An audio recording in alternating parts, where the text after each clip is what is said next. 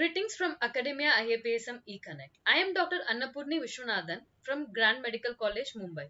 We, the team Achilles, humbly present before you the 11th capsule of the Public Health Update series for the months from July to September 2022. The contents of this video will be dealt with in three parts. The first part will focus on Mission Shakti and World Population Day. The second part will focus on Pradhan Mantri TB Mukt Bharat Abhiyan, SRS Statistical Report 2020 and National List of Essential Medicines 2022.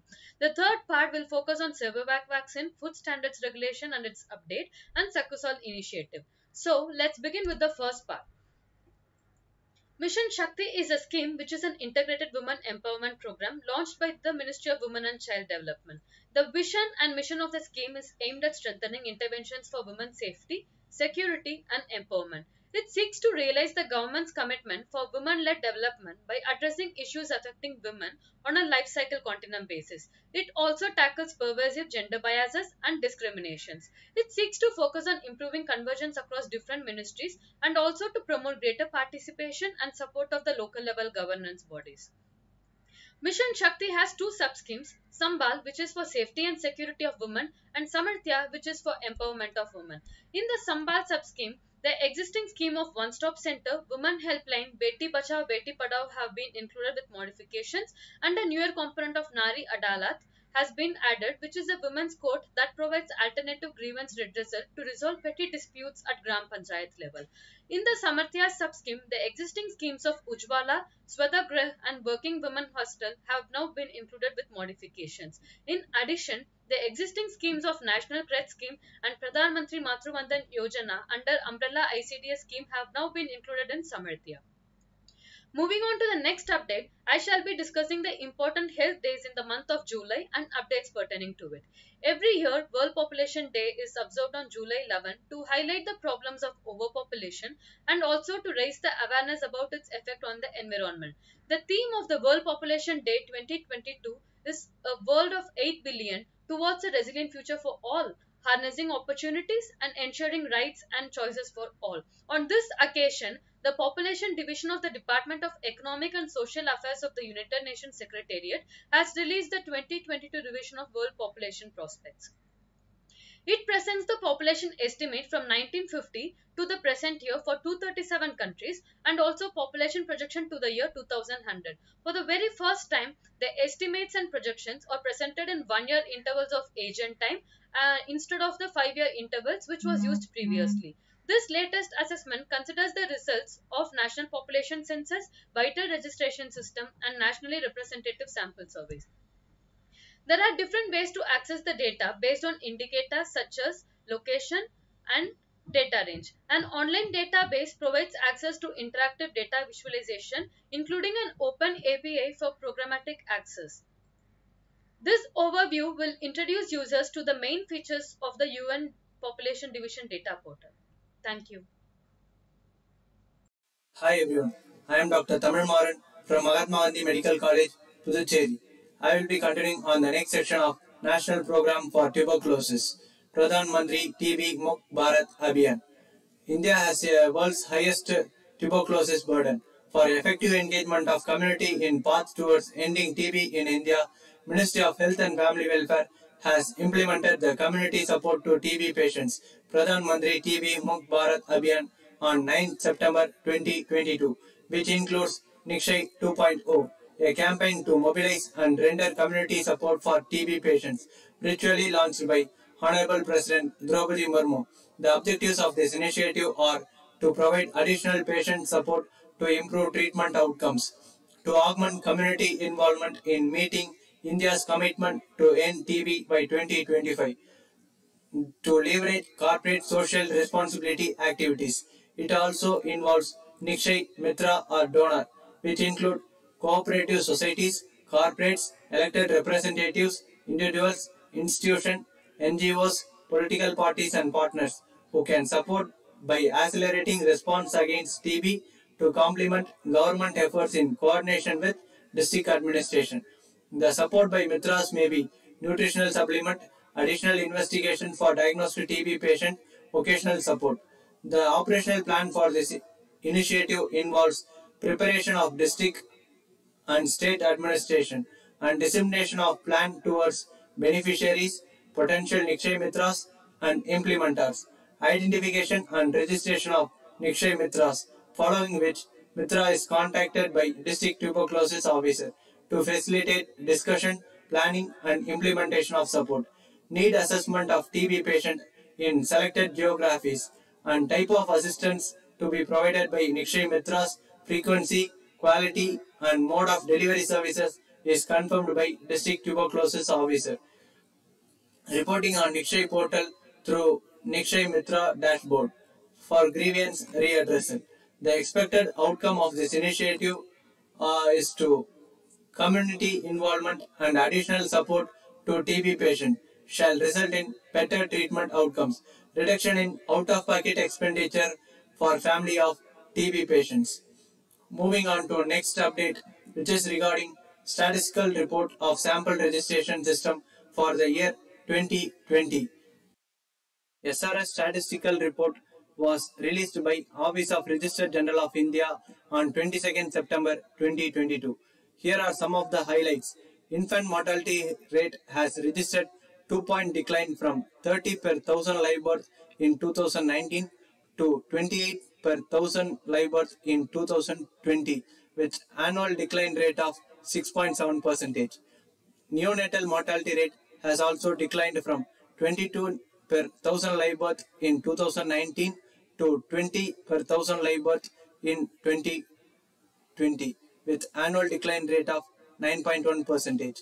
Six states, which includes Delhi, Tamil Nadu, Maharashtra, Jammu and Kashmir, Punjab, have already attained Sustainable Development Goals target of neonatal mortality rate of less than or equal to 12 per thousand live birth. Under 5 mortality rate has significantly declined 3 points with annual decline rate of 8.6% from 35 per thousand live birth in 2019 to 32 per thousand live birth in 2020. 11 states Kerala, Tamil Nadu, Delhi, Maharashtra, Jammu and Kashmir, Karnataka, Punjab, West Bengal, Telangana, Gujarat, and Himachal Pradesh have already attained Sustainable Development Goals target of under 5 mortality rate of less than or equal to 25 per thousand live birth. My next, next update is on National List of Essential Medicine. National List of Essential Medicine was first formulated in 1996. It plays an important role in ensuring accessibility of affordable quality of medicine at all levels of healthcare. This will give boost to cost-effective quality medicines and contribute towards reduction in out-of-pocket expenditure of healthcare of citizens. It was revised earlier in 2003, 2011 and 2015. Now again revision of list has been done in 2022 with addition of 34 drugs which includes ivermectin, meropenem, mupirocin, terbinafine, ormeloxifene and montelukast and deletion of 26 drugs which includes chlorpheniramine maleate, methyl dopa, atenolol, white petrolatum and anti-ulcer medicines like sucralfate and ranitidine. Also, Health Minister notifies the inclusion of coronary stents in the list, a move that will help and make these life-saving medical devices more affordable. Currently, 384 drugs are available in the list. Thank you. Hello everyone, I am Dr. Kishore from India Institute of Hygiene and Public Health, Kolkata. I am continuing with the health update on vaccine. Union Minister Dr. Jitendra Singh has announced India's first indigenously developed vaccine Cervavac for the prevention of cervical cancer this September. It is a quadrivalent human papillomavirus vaccine with L1 virus-like particles of serotypes 6, 11, 16 and 18. It is developed by Serum Institute of India in collaboration with Department of Biotechnology and BIRAC. It has completed the phase 3 trial and it was conducted as a multicentric interventional trial in the age group of 9 to 26 years in 3 dose regimen. The results of the trial are yet to be released and the Mark, uh, Drug Controller General of India has granted market authorization in July this year. Moving on to my next update on the new patient safety initiative. This update is about the new initiative under the same framework of National Quality Assurance Program. released by the National Health System Resource Center.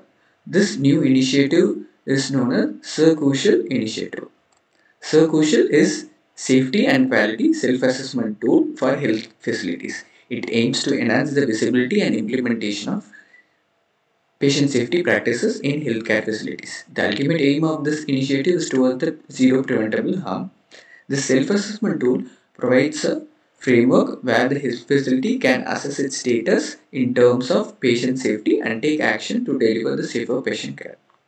This initiative scores the health facility with the help of a checklist by assessing four broader areas of concern, which are patient care practice, clinical risk management, safer care environment, and the patient safety system. These four areas of broader areas of concern are assessed by 16 standards, which in turn are determined by elements, and these in turn are again assessed by the attributes or checkpoints.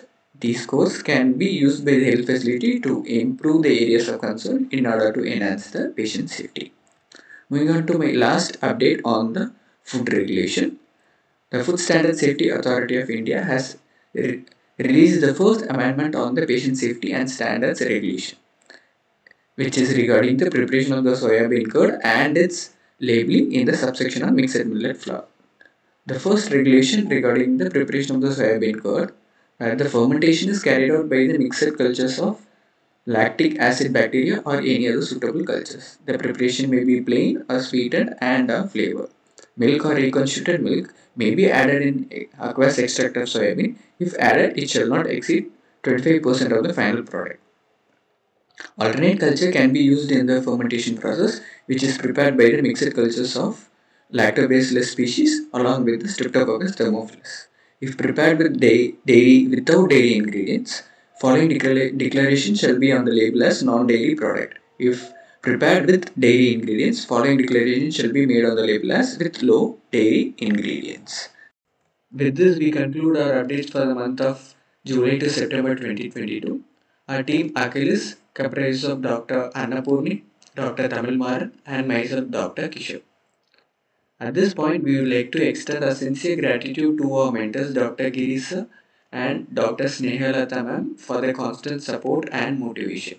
We would also like to thank our advisors Dr. Malati sir, Dr. Akansha ma'am and Dr. Parag sir for their support and bringing us all to this platform. We would also take this opportunity to extend our sincere gratitude to the senior IAPSM office bearers. Thank you for your time and hope you all are positively enlightened with these updates. The Academy IAPSM eConnect will soon come up with the updates for the month of October and November 2022. Kindly subscribe to our channel Academia IAPSM eConnect and click on the bell icon to receive the notification. Till we meet again, stay connected, stay safe. Thank you.